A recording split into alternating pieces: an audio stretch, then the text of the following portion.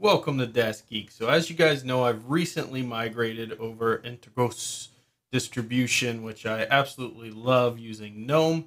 But there's one issue that I've run into, and that is mounting the iPhone. So, the Android works perfectly that I have the HTC, but the iPhone does not create a file directory under files when I open it up. So, let me show you here. Right now, my iPhone is connected, and you can see there's nothing here for the iPhone itself. So I can't search and grab photos or videos or anything that I record on my phone. And at times, I record videos for this. Now, you can use Shotwell or any of those other tools, and it can make a connection to the phone, and you'll be able to download your work there. But in this case, I had a, lot of videos that I've shot over time, and this particular video I was looking for I couldn't find it in the Shotwell import, and so I'm not sure if the iPhone put it in a different spot or whatnot, but I had to manually hunt for it. The file system and the way that the pictures are labeled within the phone versus how you view them in a file manager is just kind of a defect of how iPhone system is set up. But in either case, I was able to find a workaround, and part of the Linux community, part of the beauty of the Linux community is there's always a workaround for anything.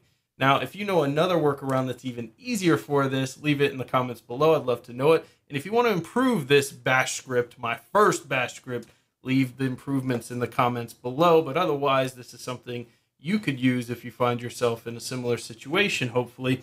This is my first time running it, so it's time to shed my newbie skin and start to become a little more of an advanced Linux user and write some of these scripts to do the things that I want instead of having to memorize these commands.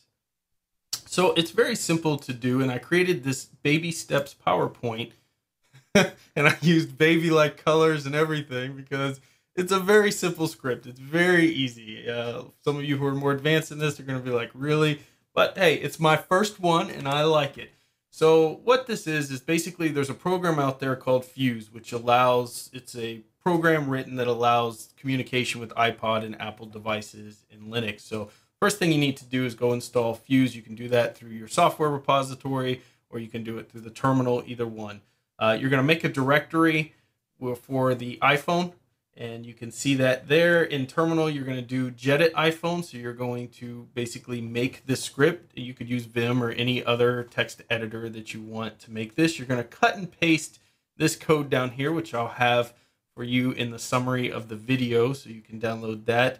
And the only thing you're going to need to change is the path. So you can see the path for the fuser unmount command is for me home DasGeek iPhone. Yours is probably going to be home whatever your username is and then iPhone. In the terminal, you're going to need to do the chmod 755 to change the permissions to this iPhone command so that it will run. And then from this forward, all you're going to have to do is the period slash iPhone and you can mount and unmount your drive. So you can see we've got nothing here. Let's pull up our file manager. But this thing is just messing with me today. Okay, pull up our file manager and let's go into our terminal. And I'm going to run the command. And you can see that it's using the DMESG command to look for any connected devices within my system, USB devices or external hard drives. And it's finding that finding the Apple iPhone and it's showing that the last command is it's attached. If the last command shows it's detached, you probably need to plug your phone back in uh, so that it can get in there. So is my phone connected? Yes, it's attached. Glad to hear it. It gives you that command and boom, now you can see I can search through my iPhone, get to my videos and pictures or anything else that I want to look at.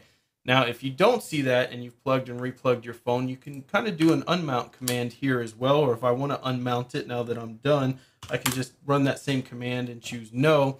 You can see the iPhone disappears and it's basically running a fusermount minus u at that directory, unmounting that directly. So this has worked for me. It's worked beautifully. I hope it works for you. Leave your comments below. Let me know what you think about my first bash script out there. Is it blown your mind? Until next time, I hope this helps and get out there and fill your brains.